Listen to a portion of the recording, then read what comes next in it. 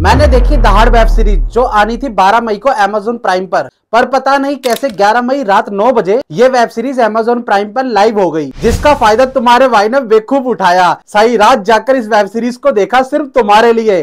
तुम्हारे लिए। तो कर देना सब्सक्राइब ये वेब सीरीज़ है आठ एपिसोड की। इसका हर एपिसोड लगभग पचपन से साठ मिनट का है। मतलब लगभग आठ घंटे। क्या आपको आठ घंटे अपनी लाइफ के इस वेब सीरीज़ को देने चाहिए या नहीं? आइए मैं बताता हूँ। मेरा नाम है जय और आप देख रहे हैं तेरा मेरा रिव्यू चैनल ऐसा नहीं है कि ऐसे टॉपिक पर हमने पहले कोई वेब सीरीज़ या मूवी नहीं देखी। ऐसे टॉपिक पर पहले ही काफ़ी सारे कंटेंट बन चुके हैं, जिसमें गरीब परिवार की लड़की होती है, जिनकी उम्र 28 से 35 साल की होती है और समाज और घर वालों से ताने पड़ते रहते हैं शादी को लेकर। क्योंकि घर वाले दहेज दे नहीं सकते और बिना दहेज के शादी होगी नहीं। ऐसे में एक सीरियल किलर उन लड़कियों को चुनकर अपने प्यार में फंसाता है और उन्हें शादी का झांसा देकर घर से भागने में मजबूर करता है। फिर किसी होटल में उनके साथ शारीरिक संबंध बनाता है, साथ में उनको एक पॉइजन की गोली खिलाकर मार देता है। ऐसा ही एक केस राजस्थान के ज़िले के पुलिस स्टेशन में आता है, जिसकी जाँच पड़ताल करती है सोनाक्षी मैडम, जिन्हें केस की जाँच पड़ताल करते वक्त पता चलता है ऐसे एक दो तीन केस नहीं है, बल्कि सत्ताईस, अट्ठाईस, उनतीस केस है, जो एक दूसरे से कनेक्टेड है और इनकी स्टोरी भी एक जैसी ही होती है। अब सोनाक्षी मैडम उस सीरियल किलर को पकड़ पाती है या नहीं और वो सीरियल किलर कत्ल क्यों कर रहा है? इसी को बहुत ही खूबसूरती से इस सीरीज़ के अंदर हमें दिखाया गया है। सीरीज़ के राइटर ने इसकी स्टोरी बड़ी ही चतुराई से लिखा है और सीरीज़ के मेकर ने पहले ही एपिसोड से ऐसा दिखाया है की आपको और मुझे पहले से ही पता होगा की कातिल कौन है,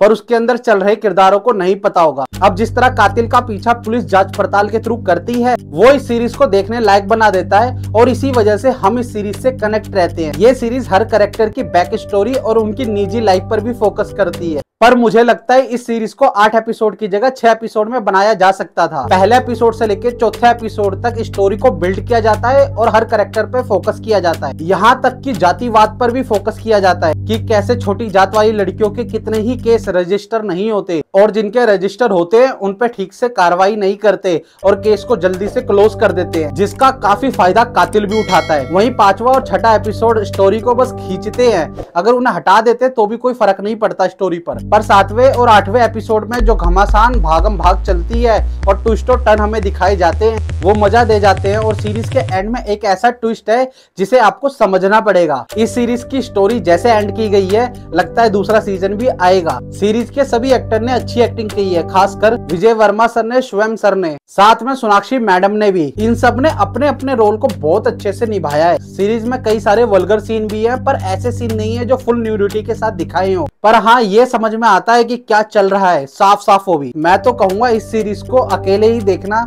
बाकी आपकी मर्ज़ी है। मैं इस सीरीज़ को देता हूँ फाइव में से थ्री स्टार मिलता हूँ अगली वीडियो में। जब तक के लिए बाय